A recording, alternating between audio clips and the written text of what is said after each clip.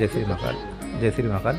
महाकालेश्वर मंदिर में जो भगवान महाकालेश्वर को चढ़ने वाला प्रतिदिन जो भी पुष्प वगैरह चढ़ते हैं उसके उसको मतलब ज़ीरो वेस्ट के तरह उसका उपयोग किया जाएगा और उससे जो पुष्प निकलने वाले हैं उससे फूल बत्ती वगैरह और अगरबत्ती वगैरह बनाई जाएगी। उसका कलेक्शन किया जाएगा उसको सुखाकर ज़ीरो वेस्ट का कार, वो कारखाना बनाया जाएगा छोटा सा। और महाकाल मंदिर से जितना भी अन्य प्रकार का जो वेस्ट निकल रहा है खाद्य वेस्ट वगैरह पत्ती वगैरह इससे खाद्य वगैरह भी बनाया जाएगा। ये बहुत जल्दी शुरू होने वाला है।